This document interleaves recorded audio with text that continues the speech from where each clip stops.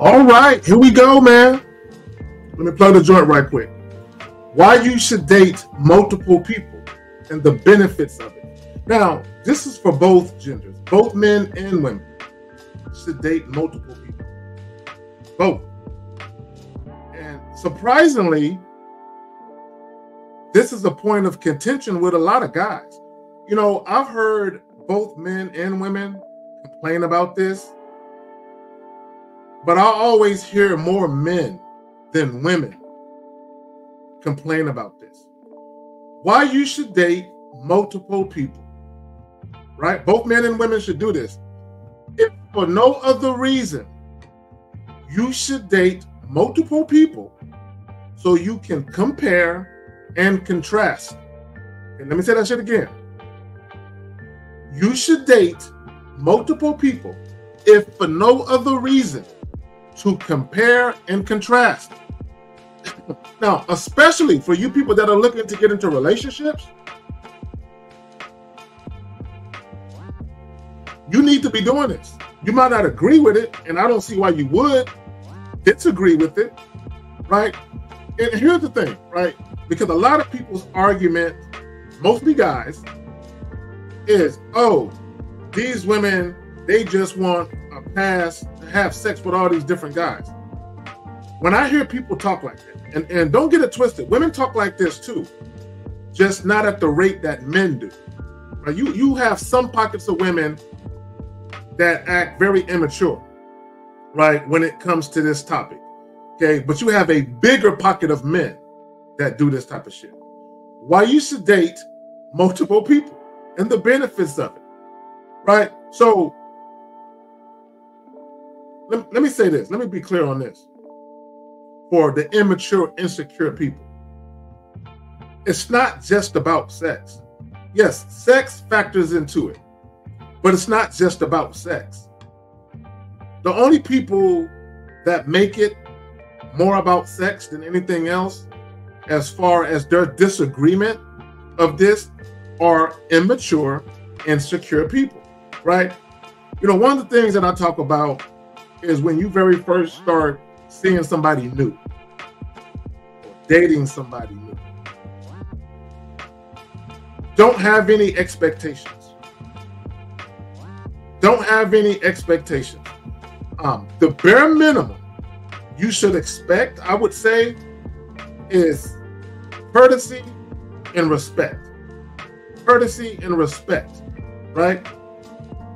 Meaning, if you set up a date, uh, gentlemen, if the woman isn't on time, she's being discourteous and disrespectful. If she flat out just flakes on you, she's being disrespectful, right? If you're meeting someone new and they're dating other people, that's not disrespect. You know, for the life of me, I never understood this. I use myself as an example. Today is Thursday. If I go out tonight to one of these lounges or sports bars to watch the Kansas City Chiefs and Ravens game. And I happen to meet a young lady while I'm there. And we're talking, smiling, right? Flirting. And at some point, um, it's evident that there's mutual interest, right? And we exchange contact information. Why wouldn't I assume that she may have met a guy earlier that day or earlier today. Why wouldn't I assume that maybe she met a guy yesterday, last week, last month? Why wouldn't I assume that there are other suitors, that there are other men interested in?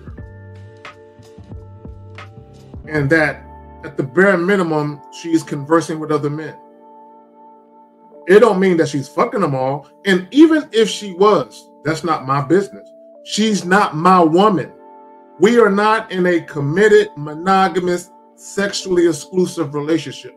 So why in the hell would I have these expectations of me being the only guy? Why in the hell would I have an expectation that she's going to prioritize me and I just met her today, or let's say a week from now, why would I assume or expect that she's going to prioritize me when I just met her a fucking week ago? That don't make no fucking sense. Now, here's the reality of it. And this is something that both men and women need to fucking understand. You're not special. And what I mean by that is this to your family and friends, maybe even your coworkers, you're special to them, right? People care about you. You you mean something to other people. But when you are first meeting new people, dealing with new people, they're strangers. They don't owe you a motherfucking thing. I remember there's a Facebook post, there's a couple of Facebook posts where guys, and it's always guys, it's, it's I've never seen this with women. I'm not saying it doesn't exist. I've just I've only seen it with guys.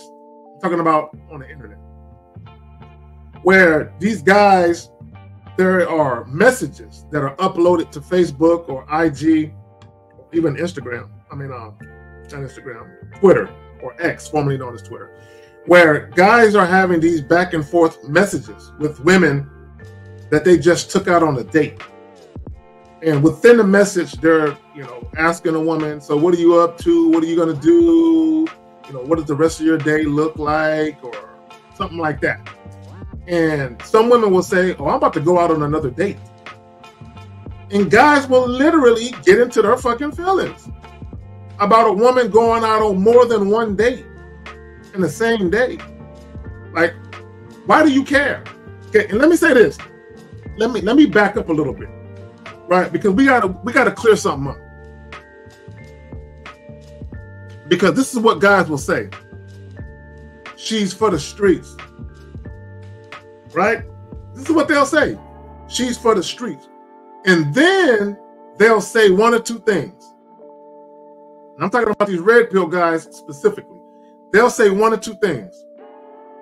They'll either say, oh, these women are just using men for free dates. Or these women are just using men for free food. Right? Which implies that these men aren't having sex with these women that are quote unquote using them for free dates and free food. Then those same guys will turn right around and say women want to date multiple men so they can fuck them and have a bunch of sex. Wait, wait, wait, wait, wait. Okay, which is it? Are women using men for free dates and food and they're not fucking you? Or are they sleeping with every guy that they're dating? Which one is it? And my thing to guys that complain about this type of shit Pick one. Which one is it? Because if you're complaining about women manipulating men or deceiving men into offering free dates, the only guys that would complain about that are guys that aren't fucking. So that means that women can't be fucking every guy that they're seeing or dating because they ain't fucking you. so when I say why you should date multiple people and the benefits of it, let's be clear. Women are not having sex with every guy that they're seeing and dating. They're not. And and you know this is a fact because of the things that guys complain about online. There's a bunch of sexually frustrated men. How can women be fucking everybody and there are guys who ain't fucking? That means women aren't fucking everybody. Okay and if they are fucking everybody they're fucking everybody but you. So why you should date multiple people and the benefits of it compare and contrast. Here's the thing, and I talked about this recently. When it comes to you men specifically, let me talk to y'all for a moment. When it comes to you establishing your program, okay, the way that you vet women, right? You having a structured way of doing things when it comes to how you date, right? And how you categorize or separate women the women that you want to take seriously from the women that you don't, right? part of that, right, is establishing standards and principles, right? The only way you can really do that and be proficient and efficient at doing so is to actually date women. Who, okay, now feel what I'm saying. I'm going somewhere with this. Date women where there is a clear distinction between these group of women who treat you like a king versus these group of women who are discourteous, they're unappreciative, they're inconsistent, the chick ain't never ready on time. Hey, maybe you're having sex, but maybe she's inconsistent with the sex, right? So you so now that you know, man, I've been treated like a king by these women over here, but these women over here are inconsistent. Even if I am having sex with them, they're inconsistent. Right? So I can't really build anything with inconsistent women. So if for any other reason you're comparing and contrasting the different treatment you're getting from women, and the best way to do that is at the same goddamn time, is to date multiple women at one time. Because now you're able to compare and contrast in real time. You can see the treatment in real time. Same thing for women. You can see the treatment in real time. But again, there's always a segment of the population that want to challenge this. And let me just say this about you motherfuckers that do this. It's always these these champions of monogamy. Now, now, shout out to my monogamous people, right? Because there's a group of monogamous people where they prefer monogamy. They prefer sexual exclusivity when it comes to a long-term relationship or marriage. But they have no problem with open relationships, or poly relationships for other people. That might not be their cup of tea, but they're non-judgmental. They're like, eh, if y'all want to do that, y'all do what y'all do. I'm gonna be over here with one person. But they're again, they're saying this is my preferred type of relationship, but I got no problem with other people that do it the other way. Now, for you motherfuckers that are judgmental, right? I got a problem with the monogamous, judgmental people, right? Because I see Facebook posts where you have both men and women condemning people, saying something is wrong with you if you're dating multiple people at the same time. Uh, something is morally wrong with you. It's unethical. All this dumbass shit. And my thing is, if that person or people that you're seeing, if they're being straight up with you, and you know you're not the only one, and they never lied to you or they never gave you the misleading impression that you were the only one, what's immoral about that? What's unethical about that? Nothing. Okay, you're just a judgmental, insecure individual, and you're immature, right? So, and people are going to be like, "Nah, that's bullshit. You're always calling people insecure, Zach." No, you're insecure, right? One of the main reasons. Now, there's a multitude of reasons why some people might have an aversion to dealing with people that are dating multiple people at the same time. As long as they're honest, I don't see why you motherfuckers would have an issue with it. But there's always going to be that crowd, right? One of the reasons why you motherfuckers have a problem with it is because you want everything handed to you. Let me say that shit again. And this is for both you men and women. You want everything handed to you. Meaning this you want to put in minimal effort and gain maximum return. Let me say that shit again.